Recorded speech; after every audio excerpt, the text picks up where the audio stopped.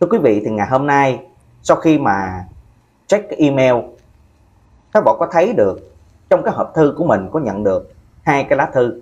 Một cái lá thư thứ nhất là của anh David Trần. Anh David Trần là một Việt kiều 52 tuổi, hiện nay thì đang sống tại California.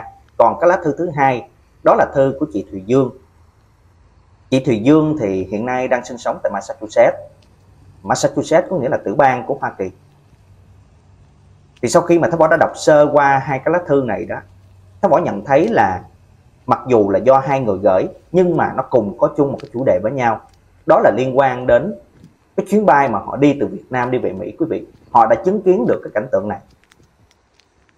Và theo đó thì lá thư thứ nhất của anh David Trần, ảnh đã đặt cái tiêu đề là cảnh tượng đáng buồn trong cái chuyến bay từ Việt Nam đi về Mỹ và lá thư thì đã có nội dung như thế này đây. Xin mời tất cả quý vị và các bạn, chúng ta có thể cùng lắng nghe. Chào anh Thái Võ, tôi tên là David Trần, 52 tuổi, hiện nay thì đang sinh sống tại California của USA. Gần đây thì tôi có dịp đi về Việt Nam thăm gia đình, cũng như là tận hưởng một chút không khí quê hương. Tuy nhiên, cái chuyến đi này nó lại để lại trong tôi khá là nhiều những cái suy nghĩ cũng như là nhiều cái cảm xúc phức tạp về cái cách hành xử của một số người Việt Nam đi chung ở trên cái chuyến bay từ Việt Nam quay trở về Mỹ với tôi. Cái chuyến bay từ Việt Nam đi về Mỹ của tôi bắt đầu với một cái niềm háo hức cũng như là mong chờ. Tôi đã chuẩn bị kỹ lưỡng, tôi mang theo khá là nhiều những món quà cũng như là nhu yếu phẩm để tặng cho bạn bè của tôi tại Mỹ. Khi mà đến sân bay thì tôi đã thấy nhiều người Lúc này thì có nhiều người Việt Nam cũng đang xếp hàng, cũng chuẩn bị cho cái chuyến bay như tôi. Tuy nhiên, ngay khi mà bước vào cái khu vực làm thủ tục lên máy bay, tôi đã bắt đầu cảm thấy nhận được một cái sự hỗn loạn. Lúc này thì có một số hành khách không chịu xếp hàng theo thứ tự. Họ chen lấn, họ đẩy cái đám đông để mà đi lên phía trước. Tôi chứng kiến được một người đàn ông trung niên, người này thì mặc áo sơ mi màu xanh, liên tục lách qua người khác, thậm chí là còn dẫm lên chân của một cụ bà mà không hề nói một tiếng xin lỗi. Khi mà nhân viên hàng không nhắc nhở thì ông ta lại quay lại và lớn tiếng dùng cái lời lẽ thô tục mà không có một chút cái sự ngại ngùng. Cho đến khi mà vào cái khu vực an ninh của phi trường, cảnh tượng nó còn tệ hơn nữa. Có một gia đình gồm 4 người, hai vợ chồng và hai đứa con đã chiếm chọn cái lối đi làm cản trở dòng người ở phía sau. Người mẹ thì liên tục liên tục lục lọi ở trong cái túi sách để mà tìm giấy tờ, trong khi là người cha thì la hét vào cái điện thoại phàn nàn về những cái dịch vụ tại đây. Những đứa trẻ thì chạy nhảy khắp nơi, đụng phải dòng người khác mà không được cha mẹ của mình nhắc nhở chút nào. Cho đến khi mà lên máy bay thì tình trạng này nó vẫn tiếp tục tái diễn. Một số hành khách thì không có tôn trọng hàng ghế được quy định họ ngồi vào chỗ không phải là chỗ của mình. Và từ chối, khi mà di chuyển được cái yêu cầu di chuyển đó, họ liền từ chối ngay lập tức. Lúc này thì tôi thấy được một cặp vợ chồng trẻ. Họ ngồi vào cái hàng ghế của người khác. Và khi mà tiếp viên nhắc nhở, họ không nói một cái lời xin lỗi, mà còn lớn tiếng cãi vã. Thậm chí là còn gây rối trật tự. Trong suốt chuyến bay thì tôi liên tục bị làm phiền. Làm phiền bởi tiếng ồn, làm phiền bởi một nhóm người ngồi ngay ở phía sau tôi, nói chuyện lớn tiếng, cười đùa, ồn ào trong suốt nhiều giờ liền. Thậm chí họ còn mở cái loa ngoài để mà nghe nhạc ở trên chuyến bay, bất chấp cái sự khó chịu của người khác, của những người xung quanh.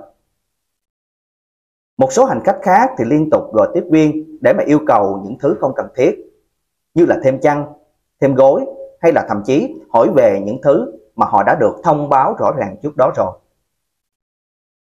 Chính vì cái điều này cho nên là nó đã khiến cho tôi cảm thấy buồn, cũng như là tôi cảm thấy thất vọng. Tôi hiểu rằng là mọi người có một cái cách cư xử, mỗi cái cách hành xử khác nhau, nhưng chúng ta đã đi ra nước ngoài. Việc giữ cái hình ảnh và danh dự của đất nước mình đó là một điều rất quan trọng. Chứng kiến được những cái hành động không đẹp này, tôi không khỏi suy nghĩ về những cái ý thức cũng như là văn hóa của một số người Việt khi mà đi ra nước ngoài. Mong rằng là trong tương lai chúng ta sẽ thấy được, sẽ ý thức được hơn về cái hành vi của mình hãy giữ gìn trật tự cũng như là tôn vinh các hình ảnh của người Việt Nam trong mắt của bạn bè quốc tế. Việc nhỏ như là xếp hàng nè, tôn trọng không gian chung của người khác nè, đó cũng thể hiện được cái văn hóa cũng như là các phẩm chất của con người Việt Nam. Cảm ơn anh Thái Võ đã dành thời gian đọc lại những dòng chia sẻ này, mong sớm nhận được một cái sự phản hồi từ anh. Chúc anh sức khỏe cũng như là luôn thành công. David Trần, ký tên David Trần. Thì đó là cái câu chuyện thứ nhất quý vị. Anh David Trần, anh đã kể lại toàn bộ những cái sự việc mà anh đã đi cái chuyến bay từ Việt Nam anh đi trở về Mỹ đó. Sau đây là cái lá thư thứ hai của một vị khán giả có tên là Thùy Dương. Lá thư thì đã được cho biết như thế này. Chào Thái Võ, mình là Thùy Dương. Hiện tại mình 38 tuổi, mình đang sống ở Massachusetts của USA. Mình muốn chia sẻ với bạn về cái chuyến bay gần đây của mình. Mình và chồng từ Việt Nam quay trở về Mỹ. Có nghĩa chị này là Việt Kiều quý vị. Chị cũng giống như là anh David Trần vậy đó, cũng là từ Việt Nam đi cái chuyến bay quay trở về nước Mỹ. Cái chuyến đi này thì đã để lại cho mình nhiều cái sự cảm xúc cũng như là suy nghĩ về một số cái tình huống không mấy dễ chịu khi mà chúng mình đã chứng kiến được tại đây.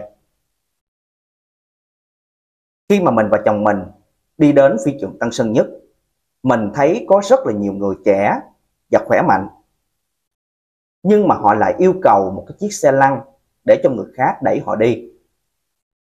Mình thật sự khá là ngạc nhiên cũng như là băn khoăn không hiểu vì sao mà họ lại yêu cầu xe lăn như vậy trong khi họ còn trẻ quá mà. Mình có nghe một cô gái nói với người nhân viên sân bay Em mệt quá, chị cho em cái xe lăn đi, đi bộ vậy lâu quá không chịu nổi đâu. Nhân viên sân bay thì nhìn cô gái này có vẻ là với một cái ánh mắt ngờ vực nhưng mà cuối cùng họ cũng phải chiều ý của cô này. Điều này nó đã tạo nên một cái hình ảnh không đẹp và làm mình tự hỏi là liệu những người này có thật sự cần một cái sự hỗ trợ từ xe lăn hay không. Cho đến khi mà vợ chồng của mình lên cái chuyến bay đi trở về Mỹ, mình đã gặp phải một cái tình huống vô cùng khó chịu. Đó là có một hành khách, người Việt, ngồi ở phía sau mình, họ liên tục đạp cái chân, có nghĩa là đạp cái chân vào cái lưng ghế của mình. Mình mới quay lại nhắc nhở rằng, anh có thể nào làm ơn, đừng có đạp vào cái lưng ghế của tôi nữa được hay không? Nhưng mà người đàn ông đó chỉ đáp lại một cái cách thật ơ. Ghế chặt quá à chân tôi không có biết để đâu hết á. Chịu khó một chút đi. Mình thì mình mới nhắc nhở thêm vài lần, nhưng mà anh ta vẫn không hề thay đổi. Điều này, nó đã làm cho mình rất là bực bội và mình cảm thấy cái chuyến bay dài nó trở nên căng thẳng căng thẳng hơn bao giờ hết. Chưa có dừng lại ở đó, khi mà xếp hàng chờ làm cái thủ tục nhập cảnh tại Mỹ, mình có chứng kiến nhiều người đã tỏ ra một cái thái độ bực bội cũng như là khó chịu khi mà phải xếp hàng lâu có một người đàn ông lớn tiếng than vãn rằng, sao mà lâu dữ vậy nè? Làm việc gì mà chậm chạp quá? Rồi có một người phụ nữ khác cũng chen lấn về phía trước. Phía trước của mình đó, nói với cái giọng gắt gỏng như thế này, đợi gì mà lâu quá. Bây giờ tôi có việc gấp nè, để cho tôi lên trước đi.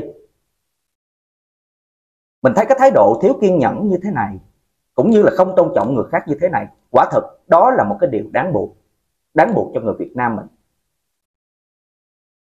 Trong lúc mà chờ lấy hành lý thì có một nhóm người tụ tập ở xung quanh cái băng chuyền. Họ hò hét, đẩy nhau và thậm chí là lấy cái hành lý trước.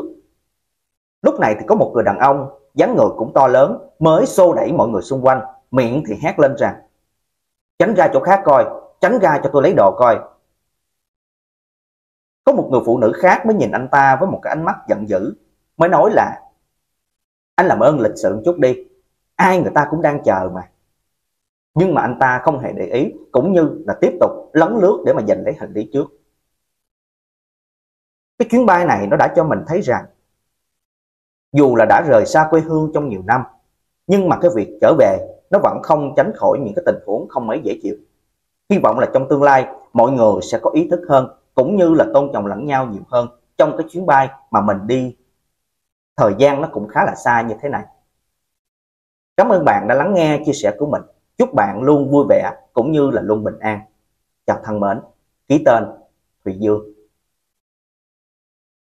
Như vậy thì có thể thấy là quý vị và các bạn đã vừa được nghe qua hai cái nội dung của hai lá thư.